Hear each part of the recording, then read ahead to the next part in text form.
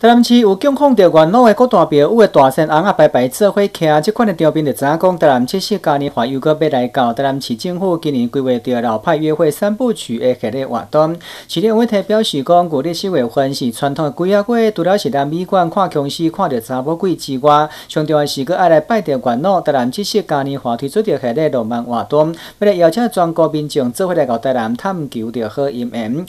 七月的时候，你要说是传统的鬼月。但是我们除了看僵尸，除了看女鬼之外，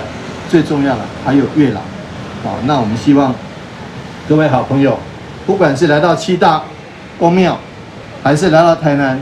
探访好的姻缘探访探访好的文化